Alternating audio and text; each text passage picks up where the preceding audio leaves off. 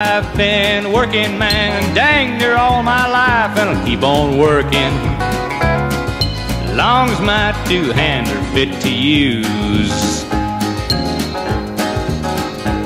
I'll drink my beer in a tavern, sing